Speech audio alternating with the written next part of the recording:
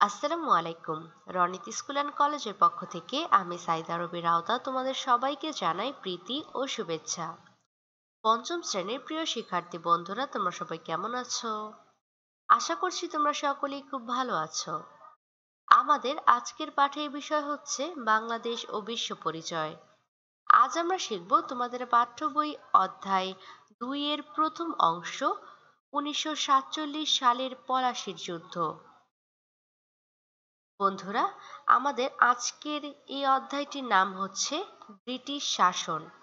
আমরা এই অধ্যায়টি থেকে আজ এই অধ্যায়টির প্রথম ভাগটি পড়ব ও শিখব। তাহলে চলো বন্ধুরা, আমরা মূল পাঠে প্রবেশ করি। আমাদের আজকের পাঠ উনিশশো সাতান্ন সালের পলাশির যুদ্ধ।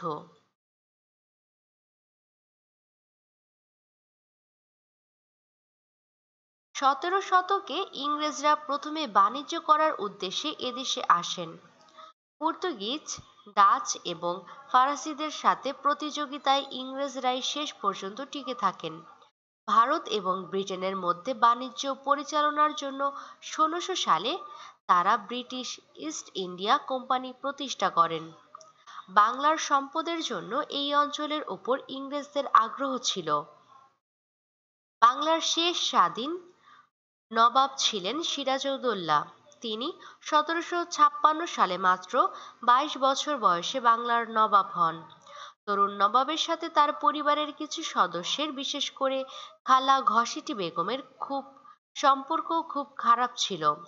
এছাড়া রায় দুর্লভ এবং জগৎ শেঠের মতো ব্যবসায়ীদের বিরোধিতা ও ষড়যন্ত্রের শিকার হন তিনি। বন্ধুরা, লক্ষ্য করো কি বলা হয়েছে? মুঘল আমলে পর্তুগিজ, ডাচ, ইংরেজ, ফরাসি ইত্যাদি ইউরোপীয় বাণিজ্য গোষ্ঠী ব্যবসা করতে ভারতীয় উপমহাদেশে আসে এবং ব্যবসায়িক প্রতিযোগিতায় শেষ পর্যন্ত কারা টিকে থাকে? ইংরেজরাই টিকে থাকে। ভারত এবং ব্রিটেনের মধ্যে বাণিজ্য পরিচালনার জন্য কোন কোম্পানিটি প্রতিষ্ঠা করা হয়? হ্যাঁ ইস্ট ইন্ডিয়া কোম্পানি প্রতিষ্ঠা করা হয় উনিশশো দুঃখিত, ষোলোশো সালে। এবং আরও বলা হয়েছে যে, বাংলার সম্পদের এই অঞ্চলের বাংলার সম্পদের জন্য এই অঞ্চলের প্রতি ইংরেজদের আগ্রহ ছিল। এবং বাংলার শেষ স্বাধীন নবাব কে ছিলেন? সিরাজউদ্দৌলা। তিনি কত বছর বয়সে নবাব হন? সতেরোশো ছাপ্পান্ন সালের বা সতেরোশো ছাপ্পান্ন সালে বাইশ বছর বয়সে তিনি বাংলার নবাব হন এবং সিরাজউদ্দৌলার সাথে তার পরিবারের কিছু সদস্যের সম্পর্ক খারাপ ছিল, তার মধ্যে রয়েছে তার খালা ঘসেটি বেগম এবং তিনি হচ্ছে রায় দুর্লভ এবং জগৎ শেঠের মতো ব্যবসায়ীদের বিরোধিতা এবং ষড়যন্ত্রের শিকার হয়েছেন বহুবার। এই বণিকেরা অবশেষে সতেরোশো সাতান্ন সালের তেইশে জুন পলাশির যুদ্ধে নবাবের বিরুদ্ধে ইংরেজদের পক্ষে যোগ দেন। সৈন্যবাহিনীর প্রধান মীর জাফরের বিশ্বাসঘাতকতার কারণে নবাব পরাজিত হন। পরে নবাবকে হত্যা করা হয়। এই ঘটনার মধ্য দিয়ে বাংলায় সতেরোশো সাতান্ন থেকে উনিশশো সাতচল্লিশ সাল পর্যন্ত প্রায় দুইশো বছরের ইংরেজ শাসন প্রতিষ্ঠিত হয়। বন্ধুরা লক্ষ্য করো কি বলা হয়েছে? সতেরোশো সাতান্ন সালের তেইশে জুন পলাশির যুদ্ধে নবাবের বিরুদ্ধে কারা যোগ দেন? ইংরেজদের পক্ষে যোগ দেন কারা? নবাবের যারা কাছের লোক ছিল তারা। এবং তার সেনাবাহিনীর প্রধান ছিল মীর জাফর। সেই মীর জাফরও তার সাথে বিশ্বাসঘাতকতা করেন এবং যার ফলে নবাব পরাজিত হয়েছিলেন। এবং নবাবের বিরুদ্ধে অনেকেই ষড়যন্ত্র করেছেন। তার নিকট আত্মীয় যারা, তারাই নবাবের বিরুদ্ধে ষড়যন্ত্র করেছিলেন এবং এই ষড়যন্ত্র এবং বিশ্বাসঘাতকতার কারণেই নবাব পরাজিত হয়েছিলেন এবং পরে কি করা হয়? নবাবকে হত্যা করা হয় এবং বাংলায় সতেরোশো সাতান্ন থেকে উনিশশো সাতচল্লিশ সাল পর্যন্ত দুইশো বছর এই ইংরেজ শাসন প্রতিষ্ঠিত ছিল।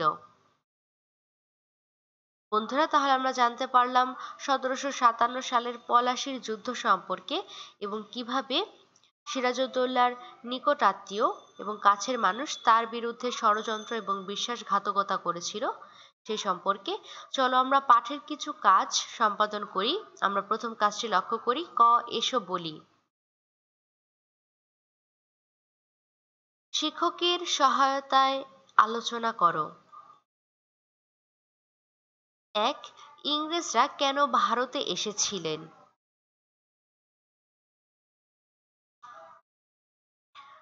বাণিজ্য করার উদ্দেশ্যে মূলত ইংরেজরা ভারতে এসেছিলেন। দ্বিতীয় প্রশ্ন, বাংলার প্রতি ইংরেজদের কেন আগ্রহ ছিল?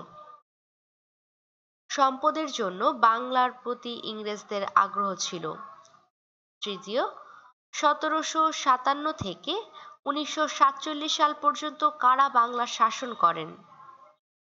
সতেরোশো সাতান্ন থেকে উনিশশো সাল পর্যন্ত ইংরেজরা বাংলা শাসন করে। প্রশ্ন চার, নবাবের বিরুদ্ধে কারা ষড়যন্ত্র করেন?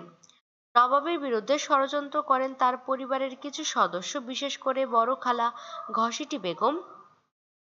রাজ দরবারের প্রভাবশালীদের মধ্যে মীর জাফর, মীর কাসিম আর রায় দুর্লভ এবং জগৎ শেঠের মতো ব্যবসায়ী এবং অন্যরা।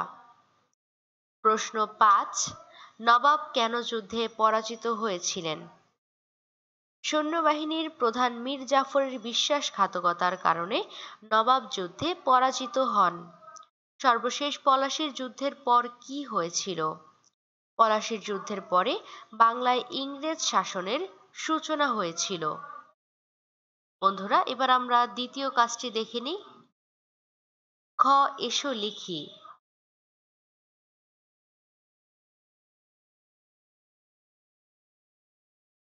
বন্ধুরা, তোমরা ছবিটিতে দেখতে পাচ্ছ, নবাবকে তিনটি পক্ষ থেকে ষড়যন্ত্র করা হয়েছিল এবং নবাব এই তিনটি পক্ষ থেকে ষড়যন্ত্রের শিকার হয়েছিল। নবাব তিনটি পক্ষ থেকে ষড়যন্ত্রের শিকার হয়েছিলেন। পাশের চিত্রে পক্ষগুলোর নাম উল্লেখ করা হলো, কোন পক্ষে কারা এবং কেন নবাবের বিরুদ্ধে ষড়যন্ত্র করেছিলেন তা লেখো। চলো বন্ধুরা, আমরা সে বিষয়ে বিস্তারিত আলোচনা করে নিই। যে চিত্রটি দেয়া আছে, সেই চিত্রে নবাবের বিরুদ্ধে ষড়যন্ত্রকারী তিনটি পক্ষের কথা বলা হয়েছে। এবং এ সকল পক্ষে কারা এবং কেন ষড়যন্ত্র করেছিল, আমরা সেই বিষয়টি জেনে নিই। প্রথমে হচ্ছে ইংরেজ বণিক। ইংরেজ বণিকের মধ্যে রবার্ট ক্লাইভ জন ওয়ালস নবাবের বিরুদ্ধে ষড়যন্ত্র করেছিলেন। এজন্য যে নবাবকে সরিয়ে কোম্পানির অনুগত কোনো নবাব সিংহাসনে বসালে কোম্পানির বিনা শুল্কে একচেটিয়াভাবে এদেশে বাণিজ্য করতে পারবে। এছাড়া বাংলায় শাসন ক্ষমতা দখল করাও তাদের ষড়যন্ত্রের আরেকটি কারণ ছিল। অতপর হচ্ছে পরিবার। পরিবারের পক্ষে খালা ঘসিটি বেগম, খালাতো ভাই শওকত জঙ্গ এবং অন্যরাও ষড়যন্ত্র করেন। তাদের ষড়যন্ত্র করার কারণ হলো নবাব সিরাজউদ্দৌলা। নবাব হওয়ায় ঘসিটি বেগমের আশাহত হয়েছিলেন। তার ইচ্ছা ছিল বাংলার নবাব হবেন তার ছেলে শওকত জঙ্গ। তাই ক্ষমতা বা সিংহাসন লাভের আশায় তারা নবাবের বিরুদ্ধে ষড়যন্ত্র করেছিলেন। অতপর এদেশীয় বণিক। এদেশীয় বণিকের মধ্যে জগৎ শেঠ জগৎ শেঠ উর্মিচাঁদ, রাজা রায়বল্লভ, রায়দুর্লভ, মহারাজা স্বরূপচাঁদ প্রমুখ তাদের ব্যবসায়িক স্বার্থ হাসিল করতে, নবাবকে উৎখাত করতে এই পরিকল্পনাটি করেছিল। অর্থাৎ নবাবের বিপক্ষে ছিল। তাহলে বন্ধুরা, আমরা জানতে পারলাম যে নবাব যে তিনটি পক্ষ থেকে ষড়যন্ত্রের শিকার হয়েছিল, এই পক্ষগুলো থেকে কারা এবং কেন নবাবের বিরুদ্ধে ষড়যন্ত্র করেছিলেন? পরবর্তী কাজটি দেখে নেই। ক আরও কিছু পড়ি।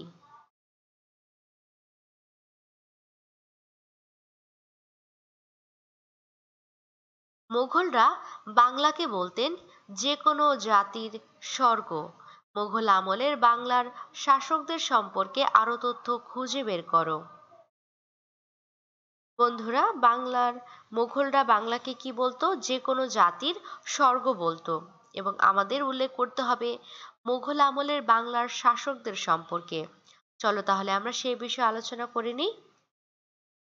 প্রথমে মুঘল শাসক সুবাদার ইসলাম খান ষোলোশো সালে বারো ভূঁইয়াদের দমন করতে সমগ্র বাংলায় সুবাদারি শাসন প্রতিষ্ঠা করে। অতপর প্রজাহিতৈষী হিসেবে পরিচিত মীর জুমলা ষোলোশো ষাট থেকে ষোলোশো তেষট্টি সাল পর্যন্ত বাংলা শাসন করেন। অতপর ষোলোশো চৌষট্টি সালে আওরঙ্গজের আওরঙ্গজেবের মামা শায়েস্তা খানকে বাংলার সুবাদার নিয়োগ দেওয়া হয়। অতপর সম্রাট ফখরুখ শিয়ারের রাজত্বকালে মুর্শিদ কুলি খান বাংলার সুবাদার নিযুক্ত হন।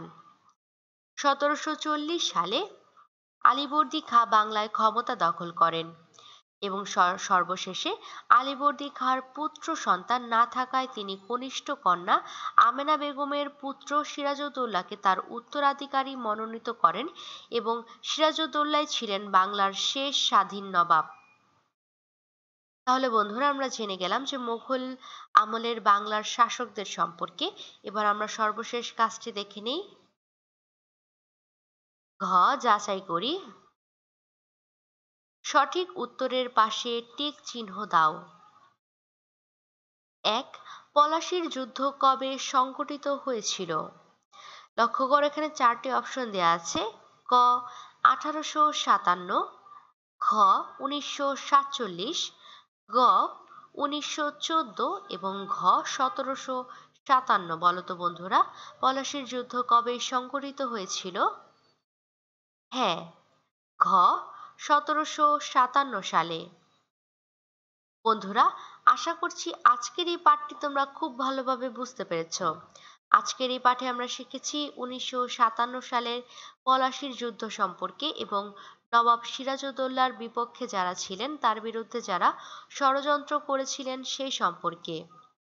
আশা করছি আজকের এই পাঠটি তোমরা খুব ভালোভাবে বুঝতে পেরেছ। আজকের এই পাঠটি তোমরা বাসায় বেশি বেশি করে অনুশীলন করবে। দেখা হবে পরবর্তী ক্লাসে নতুন কোনো পাঠ নিয়ে। সেই পর্যন্ত সবাই ভালো থেকো, সুস্থ থেকো। আসসালামু আলাইকুম, আল্লাহ হাফিজ।